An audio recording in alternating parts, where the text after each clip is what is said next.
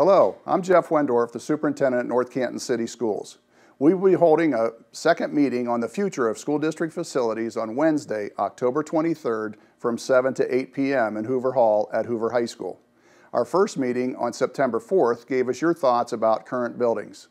Since that time, we've been doing our homework by meeting with the Ohio Facilities Construction Commission, architects, bond counsel, and our district leadership team. This second meeting will allow us to share what we've learned and whether a bond issue for new construction is feasible. In order to help us make our informed decision, we need your input. We hope that we can see you on October 23rd, 7 p.m. at Hoover Hall in Hoover High School. Thank you.